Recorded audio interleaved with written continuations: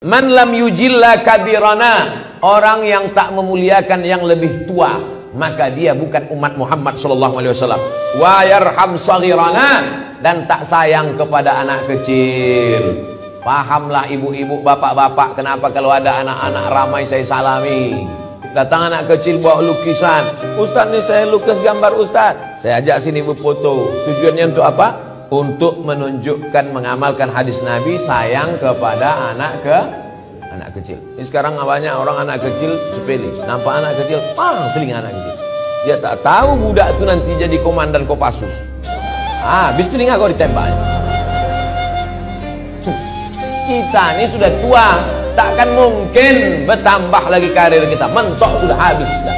Tapi anak-anak kecil ini yang kau sepelekan anak kecil berapa banyak anak kecil yang kau remeh-temehkan? Ternyata mereka jadi orang di masa akan datang. Oleh sebab itu maka muliakan anak kecil